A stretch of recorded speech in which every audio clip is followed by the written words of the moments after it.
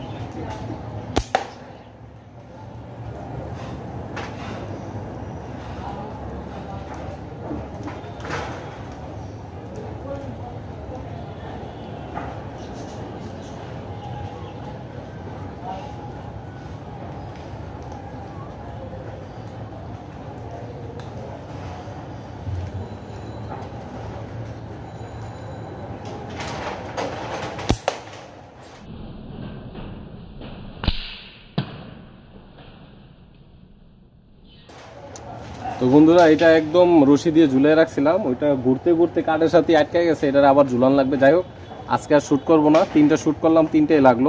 এটা খুবই ভালো অ্যাকুরেসি সেয়ার সেভেনটা সবাই জানেন। তো যাই হোক, আজকের ভিডিও পর্যন্তই। নেক্সট ভিডিও দেখার আমন্ত্রণ রইল।